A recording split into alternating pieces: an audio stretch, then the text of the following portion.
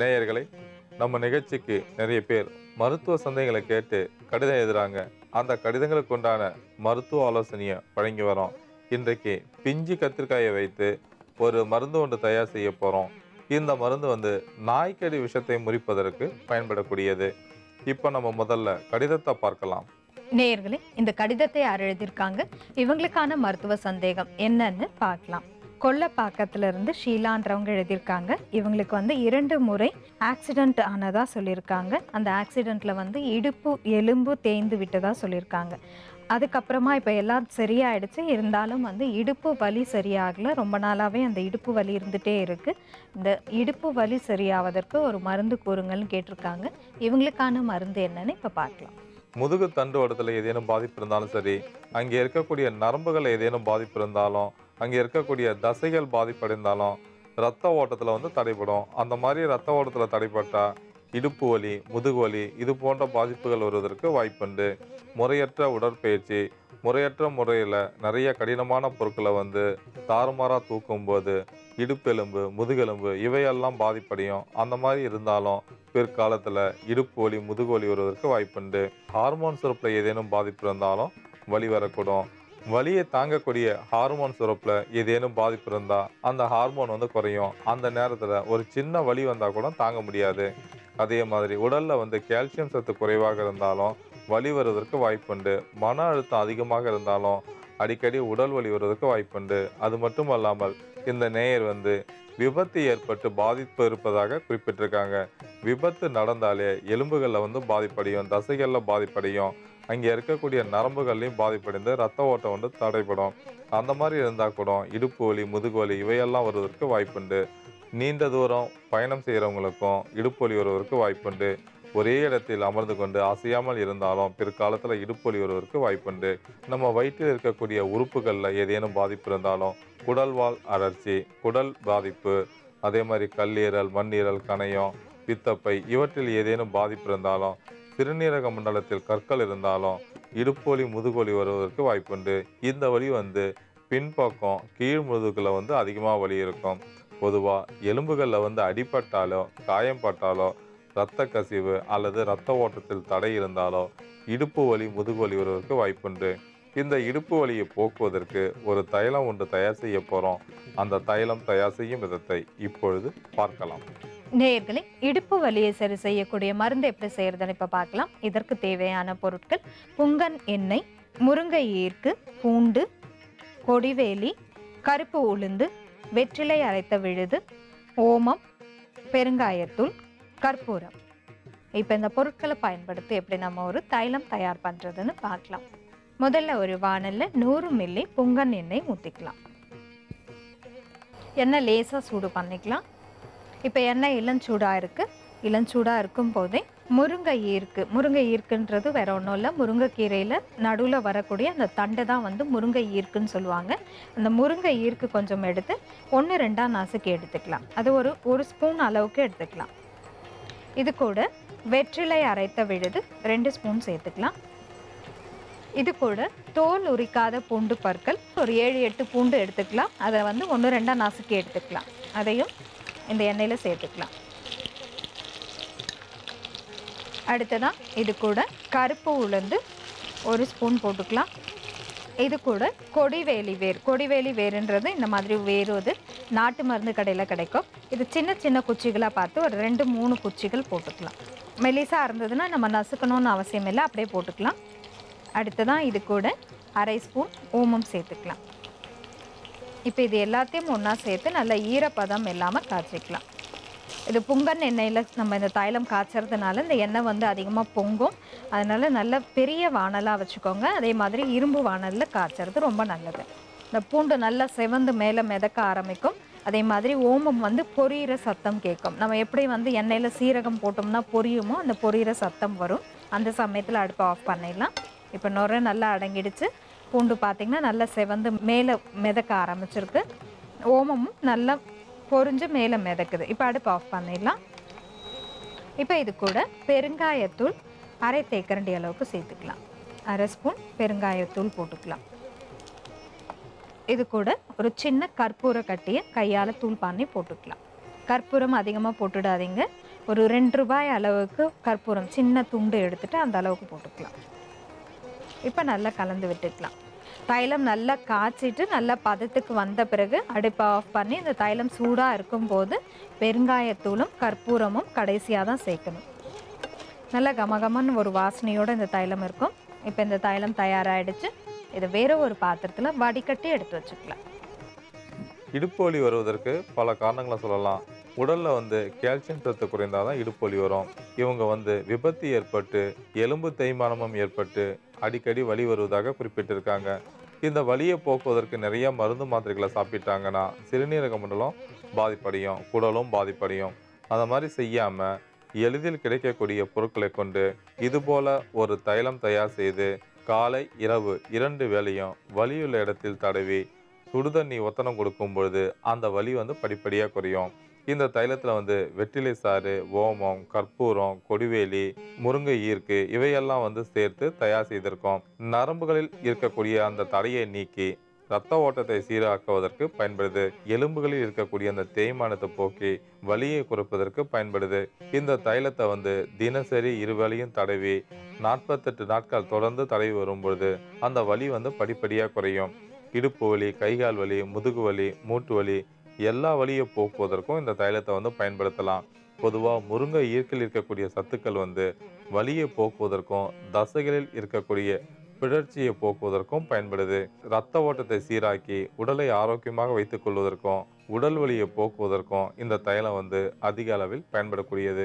நேயர்களே இடுப்பு வலியை சரி செய்யக்கூடிய தைலம். இதை எப்படி செய்யறதுன்னு இன்னொரு முறை பார்க்கலாம். முதல்ல ஒரு வானல்ல நூறு மில்லி புங்கன் எண்ணெய் ஊற்றி எண்ணெய் லேசா சூடானதும் முருங்கை ஈர்க்கு வெற்றிலை அரைத்த விழுது பூண்டு கருப்பு உளுந்து கொடிவேலி வேர் ஓமம் இது எல்லாத்தையும் ஒன்றா சேர்த்து நல்ல ஈரப்பதம் இல்லாமல் காய்ச்சி நல்ல பதத்துக்கு வந்த பிறகு அடுப்பை ஆஃப் பண்ணி பெருங்காயத்தூள் கற்பூரத்தூள் சேர்த்து நல்லா கலந்து வடிகட்டி எடுத்து வச்சோம்னா இந்த தைலம் தயார். பொதுவாக நம்ம எந்த ஒரு பொருளையும் தூக்கும்போது முறையாக தூக்கினா அதிக பாதிப்பு கிடையாது. முறையற்ற முறையில் வந்து பின்பக்கம் இருக்கக்கூடிய பொருட்களை முன்பக்கம் வந்து உடலை திருப்பி கொண்டு அந்த உடலை வந்து அதிக அளவு முறுக்கும் பொழுது தான் இது போன்ற வழிகள் வந்து நிறைய வரக்கூடும். அந்த மாதிரி செய்யாமல் உடற்பயிற்சி செய்தாலும் சரி எந்த ஒரு பொருளை தூக்கும் பொழுதும் முறையாக தூக்கும்போது எந்த விதமான பாதிப்பும் கிடையாது. அதே மாதிரி ஒரே இடத்தில் அமர்ந்து கொண்டு வேலை செய்கிறவங்க அடிக்கடி அதாவது ஒரு மணி நேரத்துக்கு ஒரு முறையாவது எழுந்து கொஞ்சம் தூரம் நடந்து அதன் பின்பு அமர்ந்து வேலை செய்யும் பொழுது எந்த விதமான பாதிப்பும் கிடையாது.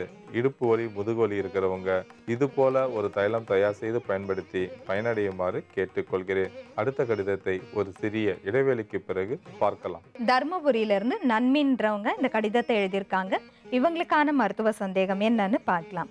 இவங்களுக்கு வந்து பல வருஷமாகவே கை கால்கள் வந்து ரொம்ப எரிச்சலாக இருக்குது அப்படின்னு சொல்கிறாங்க இவங்களுக்கு சர்க்கரை நோய் பிபி அது எதுவுமே இல்லை. எல்லாமே நார்மலாக இருக்குது ரத்த பரிசோதனை செஞ்சு பார்க்கும்போதும் எந்த விதமான பிரச்சனையும் இல்லை. எல்லாம் நார்மலாக தான் இருக்குது ஆனால் எதனால் இந்த மாதிரி எரிச்சல் இருக்குதுன்னு எனக்கு தெரியல அப்படின்னு சொல்லியிருக்காங்க.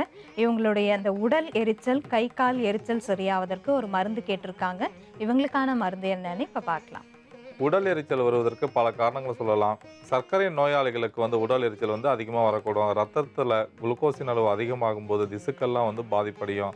அதனால் வந்து எரிச்சல் வருவதற்கு வாய்ப்புண்டு சிலருக்கு வந்து உடம்புல வந்து பித்தத்தின் அளவு அதிகமாகும் பொழுது உஷ்ணம் அதிகமாகும். அதனால் அணுக்கள்லாம் வந்து கொதிப்படைந்து எரிச்சல் வருவதற்கும் வாய்ப்புண்டு அதே மாதிரி நம்ம உடலில் ஹார்மோன் சுரப்பில் ஏதேனும் பாதிப்பு ஏற்பட்டு மத்திய நரம்பு மண்டலம் பாதிப்படைந்தாலும் ரத்தத்தில் வந்து அந்த அணுக்கள்லாம் வந்து கொதிப்படைந்து எரிச்சல் வருவதற்கு வாய்ப்புண்டு. தோலில் ஏதேனும் பாதிப்பு இருந்தாலும் எரிச்சல் வருவதற்கு வாய்ப்புண்டு. அது மட்டும் அல்லாமல் பரம்பரையாக இந்த பாதிப்பு வருவதற்கும் வாய்ப்புண்டு. எப்படின்னு கேட்டிங்கன்னா மரபணுவில் ஏதேனும் பாதிப்படைந்து எரிச்சல் வருவதற்கு வாய்ப்புண்டு. இந்த மரபணு கோளாறு இருந்தால் அவங்களுக்கு வந்து அசதி தலைவலி உடல் நடக்கும் கைகால் நடுக்கம் நரம்பு வலி இது போன்ற பாதிப்புகள் வந்து நிறையா இருக்கும். முக்கியமாக இவங்களுக்கு வந்து மன அழுத்தம் மனப்பதற்றம் பய உணர்ச்சி இதெல்லாம் வந்து நிறையா இருக்கும். அந்த மாதிரி இருக்கிறவங்களுக்கு நரம்பு மண்டலம் பாதிப்படைந்து எரிச்சல் வருவதற்கு வாய்ப்புண்டு. இந்த எரிச்சலுக்குண்டான மருந்து மாத்திரைகளை சாப்பிடும் பொழுது பிற்காலத்தில் இன்னும் அதிகமாகுவதற்கும் வாய்ப்புண்டு. முக்கியமாக ஹார்மோன் சுரப்பில் ஏதேனும் பாதிப்பு இருந்தால் தான் இது போல் பாதிப்புகள்லாம் வந்து நிறையா வரக்கூடும். அதாவது உடல் எரிச்சல் வந்து வரக்கூடும். ஆஸ்துமா நோயாளிகளுக்கும் இது போல் உடல் எரிச்சல் வருவதற்கு வாய்ப்புண்டு. அந்த ஆஸ்துமாவுக்கு உண்டான மருந்து மாத்திரைகளை அதுவும் ஆங்கில மருந்து மாத்திரைகளை நிறையா சாப்பிட்டா கூட அவங்களுக்கு கூட உடல் எரிச்சல் வருவதற்கு வாய்ப்புண்டு. உடல் எரிச்சல் வந்தாலே தாங்க முடியாது. முக்கியமாக நரம்பு மண்டலம் பாதிப்படைந்தால் தான் இந்த உடல் எரிச்சல் வருது. இந்த உடல் எரிச்சலை போக்குவதற்கு ஒரு மருந்து ஒன்று தயார் செய்ய போகிறோம் அந்த மருந்து தயார் செய்யும் விதத்தை இப்பொழுது பார்க்கலாம். நேயர்களே உடல் எரிச்சலை சரி செய்யக்கூடிய மருந்து எப்படி செய்யறதுன்னு இப்ப பார்க்கலாம். இதற்கு தேவையான பொருட்கள் நன்னாரி வேர் வெட்டி வேர் தனியா சோம்பு மருதாணி இலை அரைத்த விழுது கற்கண்டு பொடி. இப்போ இந்த பொருட்களை பயன்படுத்தி எப்படி நம்ம ஒரு மருந்து செய்யறதுன்னு பார்க்கலாம். முதல்ல ஒரு பாத்திரத்துல இருநூறு மில்லி தண்ணீர் ஊற்றிக்கலாம் இப்போ இந்த தண்ணி நல்லா சூடு பண்ணிக்கலாம். தண்ணி நல்லா சூடாயிடுச்சு. நன்னாரி வேர் நன்னாரி வேர் நாட்டு மருந்து கடையில் கிடைக்கும். இது ஒரு சிறிய துண்டு எடுத்துக்கலாம். இதை அப்படியே போட்டுக்கலாம். நன்னாரி வேர் வந்து அதிகமாக போட்டுட்டிங்க அப்படின்னா வாசனை அதிகமாகிடும் அப்புறம் குடிக்கிறதுக்கு ரொம்ப திகட்டலாக இருக்கும். அதனால் சின்ன துண்டு போட்டாலே போதும். அடுத்ததான் இது கூட வெட்டி வேர் வெட்டி வேரும் நாட்டு மருந்து கடையில் கிடைக்கும். இது ஒரு ரெண்டு கிராம் அளவுக்கு போட்டுக்கலாம். சும்மா கையால் சின்ன சின்னதாக கிளி போட்டுக்கோங்க. அடுத்ததான் இது கூட அரை ஸ்பூன் தனியா போட்டுக்கோங்க. அரை ஸ்பூன் சோம்பு சேர்த்துக்கோங்க. இது கூட மருதாணி இலை அரைத்த விழுது ஒரு ஸ்பூன் அளவுக்கு போட்டுக்கலாம். மருதாணியை வந்து இந்த மாதிரி அரைச்சி போட்டிங்க அப்படின்னாக்கா ஒரு ஸ்பூன் அளவுக்கு போட்டால் போதும். அப்படி இல்லைன்னா அந்த முழுசான இலைகள் போடுறதா இருந்தால் ஒரு பத்து இலைகள் தாராளமாக போட்டுக்கலாம். இது எல்லாம் ஒன்றா சேர்ந்து நல்லா கொதிக்கணும். தேவையான அளவு கற்கண்டு பொடி சேர்த்துக்கலாம். சர்க்கரை நோயாளிகளாக இருந்தால் கற்கண்டு சேர்க்கக்கூடாது. இனிப்புக்காக எதுவும் சேர்க்கக்கூடாது. அப்படியே வடிகட்டி குடிக்கணும். இதை நல்லா சுண்ட காய்ச்சணும். நூற்றி ஐம்பது மில்லி வர வரைக்கும் நல்லா சுண்ட காய்ச்சணும். இப்போ இதை நல்லா சுண்டிடுச்சு. இதை வேற ஒரு பாத்திரத்தில் வடிகட்டி எடுத்து வச்சுக்கலாம். உடல் எரிச்சலை குறைக்கக்கூடிய மருந்து தயாராகிவிட்டது. இதை வந்து டீனே சொல்லலாம். இந்த டீயில் வந்து நன்னாரி வேர் வெட்டி வேர் மருதாணி இலைசாறு தனியா இவற்றையெல்லாம் சேர்த்து தயார் செய்திருக்கோம். இந்த டீயை வந்து ஒரு நாளைக்கு நான்கு ஐந்து முறை சாப்பிடும்போது இரத்த ஓட்டத்தை சீராக்குவதற்கு பயன்படுது பித்தத்தை சமன் செய்வதற்கு பயன்படுது.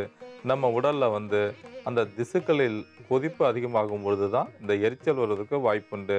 அந்த திசுக்களை தணிப்பதற்கும் உடலை குளிரச் செய்வதற்கும் இந்த டீ வந்து அதிக அளவில் பயன்படக்கூடியது. இரத்த கொதிப்பை சமன் செய்வதற்கும் இதய நோய் வராமல் தடுப்பதற்கும் அதிக அளவில் பயன்படக்கூடியது. நேர்களே உடல் எரிச்சலை தணிக்கக்கூடிய மருந்து இது எப்படி செய்யறதுன்னு இன்னொரு முறை பார்க்கலாம். ஒரு பாத்திரத்தில் இருநூறு மில்லி தண்ணீர் ஊற்றி நன்னாரி வேர் வெட்டி வேர் தனியா சோம்பு மருதாணி இலை அரைத்த விழுது. இது எல்லாத்தையும் ஒன்றா சேர்த்து தேவையான அளவு கற்கண்டு பொடி சேர்த்து நல்லா சுண்ட காய்ச்சி வடிகட்டி எடுத்து வச்சோம்னா இந்த மருந்து தயார். பொதுவாக அதிக கோபப்படுறவங்களுக்கு தான் இந்த உடல் எரிச்சல் வருவதற்கு வாய்ப்புண்டு அதிக நேரம் வந்து வெயிலில் வேலை செய்கிறவங்களுக்கும் பிற்காலத்தில் வந்து எரிச்சல் வருவதற்கு வாய்ப்புண்டு இன்றைய காலகட்டத்தில் புது புது வியாதிங்க வந்து நிறையா வருது. அந்த மாதிரி வராமல் நம்ம உடலை ஆரோக்கியமாக வைத்துக்கொள்ள வேண்டும் என்றால் இது போல் ஒரு டீ தயார் செய்து ஒரு நாளைக்கு நான்கு ஐந்து முறை சாப்பிட்டாலே போதுமானது. நம் உடலில் வந்து பித்தத்தை சமன் செய்வதற்கு பயன்படுது. முக்கியமாக நம்ம உடலில் வந்து மத்திய நரம்பு மண்டலத்தில் இருக்கக்கூடிய பாதிப்புகளை சரி செய்து இரத்த ஓட்டத்தை சீராக்கி உடலின் வெப்பநிலையை சம அளவில் வைத்துக்கொண்டு தோலில் வரக்கூடிய பாதிப்புகளை போக்குவதற்கும் பயன்படுது. அதே மாதிரி இந்த டீயில் வந்து மருதாணி இலையை வந்து சேர்த்துருக்கோம். மருதாணி இலையை வந்து சாதாரணமாக அரைத்து நம்ம கைகளை வந்தால் கைகளை வந்து நல்லா சிவந்து காணப்படும். அந்த மருதாணியில் இருக்கக்கூடிய சாறுகள் வந்து தோல் வழியாக ஊடுருவி இரத்தத்தோடு கலந்து இரத்தத்தில் இருக்கக்கூடிய கிருமிகளை அழித்து இரத்தத்தை சுத்தம் செய்வதற்கு பயன்படுது. உடல் உறுப்புகளில் இருக்கக்கூடிய நச்சை வெளியேற்றி உடலை ஆரோக்கியமாக வைத்துக் கொள்வதற்கு பயன்படுது.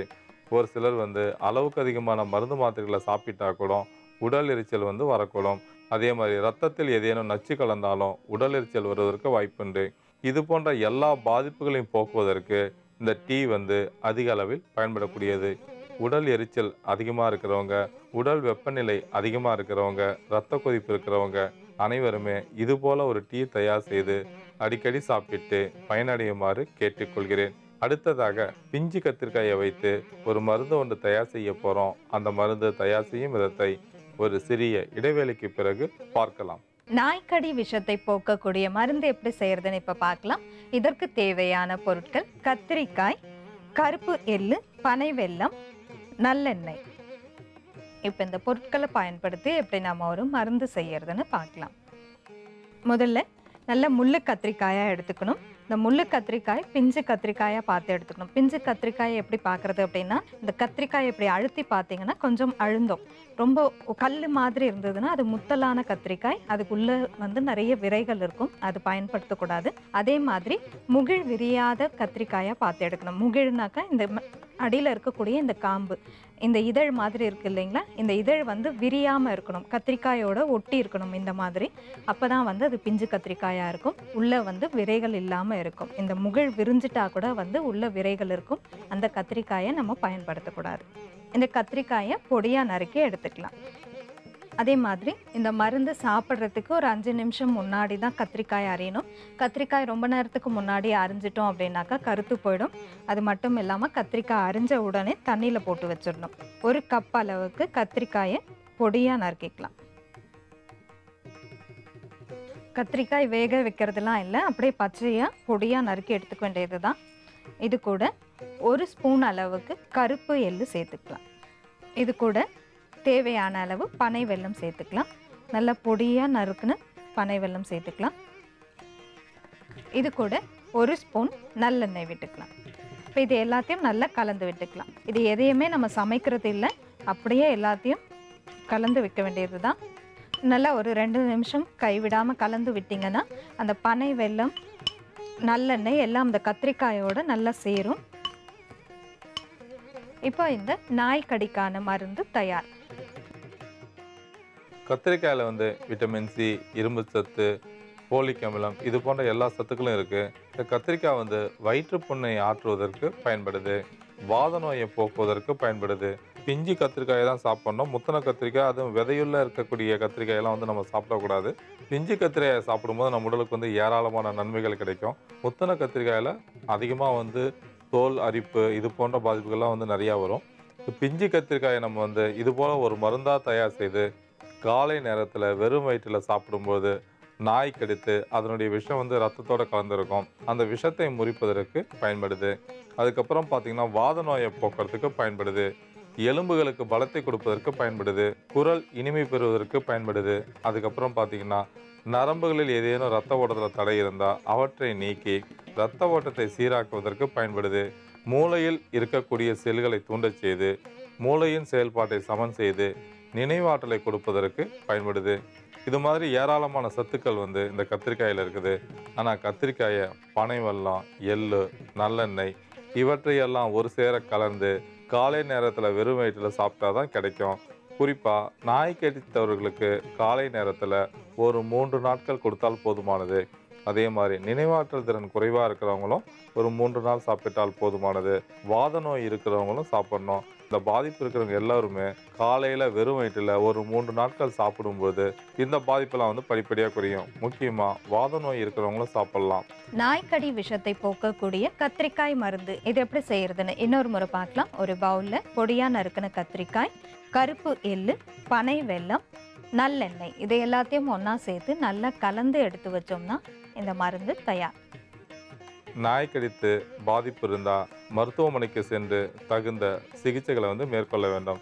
அந்த மருந்து மாத்திரைகளையும் தொடர்ந்து எடுத்துக்கொண்டு இதுபோல் எளிதில் கிடைக்கக்கூடிய கத்திரிக்காய் எள் பனைவெல்லம் இவற்றையெல்லாம் சேர்த்து ஒரு மருந்தாக தயார் செய்து காலை நேரத்தில் ஒரு மூன்று நாள் சாப்பிட்டால் போதுமானது. அந்த விஷம் வந்து படிப்படியாக குறையும். அதே மாதிரி நினைவாற்றல் பாதிப்பு இருக்கிறவங்க வாத நோய் இருக்கிறவங்களும் நரம்புகளில் வந்து வலி இருக்கிறவங்களும் சாப்பிடலாம். எளிதில் கிடைக்கக்கூடிய கத்திரிக்காயை இது போல ஒரு மருந்தாக தயார் செய்து சாப்பிட்டு பயனடையுமாறு கேட்டுக்கொள்கிறேன். நேயர்களே இன்றைய பாரம்பரிய மருத்துவ நிகழ்ச்சியில் இடுப்பு வலியை சரி செய்யக்கூடிய தைலம் எப்படி செய்யறதுன்னு பார்த்தோம். உடல் எரிச்சலை போக்கக்கூடிய டீ தயார் செய்யும் விதத்தையும் பார்த்தோம். நாய்க்கடி விஷத்தை போக்கக்கூடிய கத்திரிக்காய் மருந்து எப்படி செய்யறதுன்னு பார்த்தோம். மீண்டும் மற்ற நிகழ்ச்சியில் சந்திப்போம். நன்றி வணக்கம். நேயர்களே இந்நிகழ்ச்சிக்கு உங்களுடைய மருத்துவ சந்தேகங்களை எழுதி அனுப்ப வேண்டிய முகவரி பாரம்பரிய மருத்துவம் ஜீ தமிழ் தொலைக்காட்சி தபால் பெட்டி எண் எட்டு ஏழு எட்டு ஏழு கிண்டி சென்னை ஆறு லட்சத்தி முப்பத்தி இரண்டு.